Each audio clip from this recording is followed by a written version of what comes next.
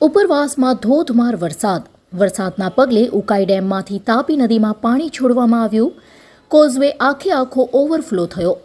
તેતાલીસ હજાર cusec outflow નોંધાયો કોઝવેની સપાટી છ પોઈન્ટ ઇકોતેર મીટરે પહોંચી કોઝવેની ભયજનક સપાટી છ મીટર હવામાન વિભાગ દ્વારા ભારે વરસાદની આપવામાં આવી